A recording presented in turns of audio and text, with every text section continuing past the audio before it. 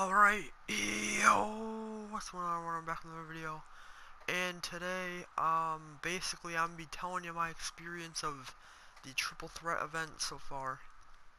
So, I've played four uh, boards full, pretty much, of the Triple Threat, and I made it to the top four times, and I saw one card out of all these, what, 12 cards are there? I saw one card. And I, so far, only saw Stockton. Now, obviously, I know the Vault is going to be a little different because the Vault is going to be a little more rare to see cards. But I did not see Monta Ellis yet. I didn't see Markelle. I didn't see any of the guys in the middle. And I didn't even see Steve Nash yet. I saw Juan Carlos Navarro. And that's it.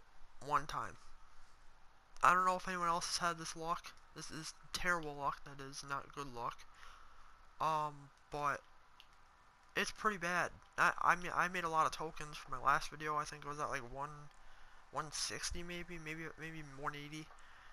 I mean I made 50, you know, 50 plus tokens. But I am by far, I feel like, the most unlucky triple threat person that there is. Let me know what you guys have gotten because my one friend got like five Stocktons out of the vault and he, didn't play Triple Threat Online. I got two Stocktons and that's pretty much it for that.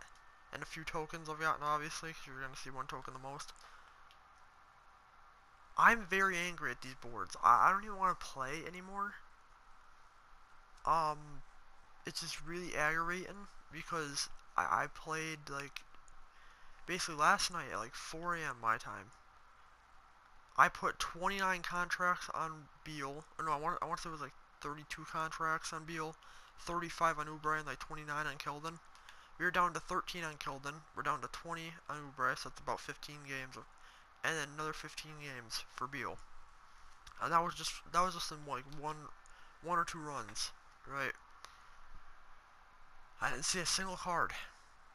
I saw Juan once at like 4 p.m. on a loss. So I had one chance at the card instead of four or five. And I missed them. So let me know down below what what you've seen or gotten because I, I need to see if other people are having the same luck as me or not because if they are then I'm not I'm probably gonna play with their offline and just take my chances with the Vault. Now, if there's people that have been getting DeMar DeRozan, Harden, and that type of, like, the actual cards that are good, like Juan, Harden, DeRozan, Danny Ferry, yeah, you have to let me know, just so I know other people are actually getting it, so it's just my bad luck. But yeah, that's pretty much going to do it. I just wanted to tell you guys, so far, my experience in one day of playing Triple Threat, and, uh, and yeah, so, peace out, guys.